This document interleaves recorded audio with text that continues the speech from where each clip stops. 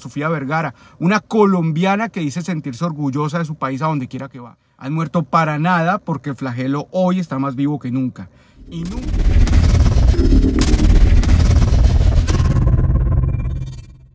Veamos esto, por favor.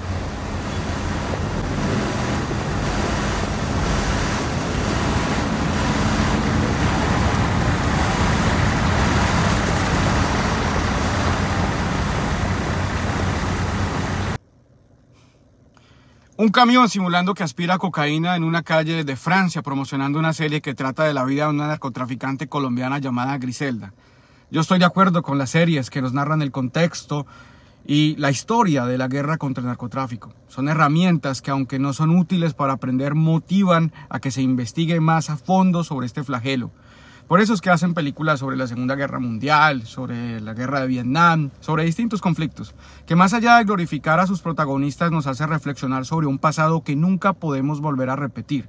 Pero esto, esto no es reflexión, no es historia, no es contexto, es la simple romantización de delincuentes, es la banalización de una historia llena de dolor y de víctimas.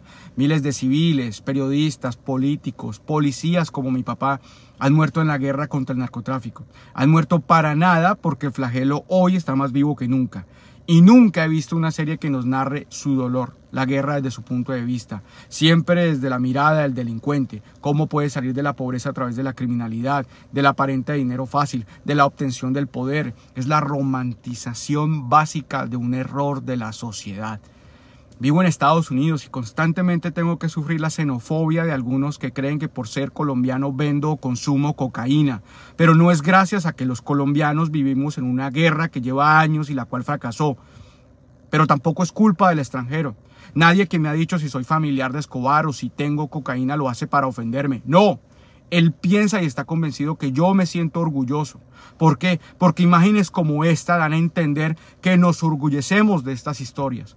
Esta serie en particular es producida y protagonizada por Sofía Vergara, una colombiana que dice sentirse orgullosa de su país a donde quiera que va. Y publica fotos como esta, donde disfruta estar sentada arriba de lo que parece ser un cargamento falso de cocaína. A la señora Sofía Vergara le digo, perdí a mi padre en esta guerra, pero lo perdí para nada, porque un héroe no es el que muere por una causa perdida, es el que muere y logra inspirar y cambiar algo. Nos toca a nosotros, los que estamos vivos, empezar a cambiar esta historia. Te sigamos hablando del tema de Griselda, porque en medio de este revuelo, el presidente Gustavo Petro decidió protestar ante un mensaje que comparaba a su esposa Verónica Alcocer con la narcotraficante. Algo inaudito que ya raya en el extremo del absurdo. ¿Y qué pasó? Un tuitero, que no lo voy a robar, no lo voy a mencionar, sí voy a mostrar su cara para que ustedes vean esta persona, pero no lo voy a nombrar porque es capaz que ustedes van y lo buscan y lo siguen, pues compartió un mensaje que rápidamente fue calificado como humillante, no solamente por el presidente, sino hasta el mismo periodismo tradicional salió indignado, ya que vincula a Griselda Blanco con Verónica Alcocer. Este fue el trino del personaje. Todas las mujeres narcotraficantes y mulas que llevan dinero y drogas tienen una extraña fascinación por subirse en los árboles y abrazarlos. A la izquierda, esta es la temida narcotraficante Griselda Blanco. ¿Quién es la otra? Y en las fotos aparece Griselda Blanco abrazando un tronco de un árbol y también Verónica Alcocer haciendo lo mismo. Por su parte, el presidente le respondió y le exigió al fiscal general.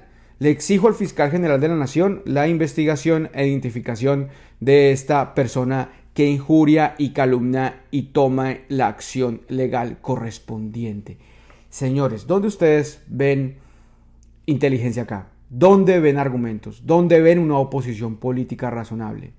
Lo peor es que este señor, que es un odiador de la peor calaña en redes sociales, tiene un alcance con base en esta misma clase de publicaciones.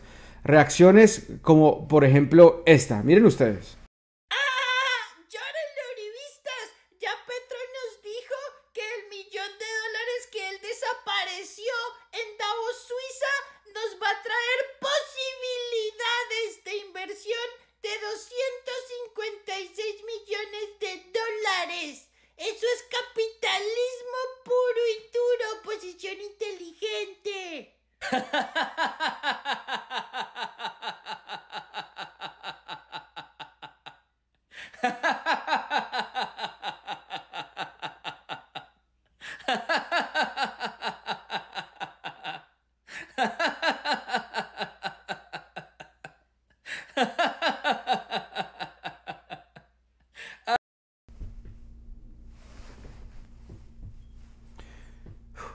Extraño, demencial, delirante, se nota que es un tipo perturbado mentalmente y no sé qué tanto este oligofrénico sujeto, al que repito no voy a mencionar, se puede considerar inimputable por su manera de actuar. Y la verdad no soy optimista que a este señor lo puedan judicializar por esto, ya que como hizo Pastrana disfraza sus acusaciones de opiniones. Por ahí respondió diciendo que nunca dijo que la señora Verónica Alcocer fuera una narcotraficante.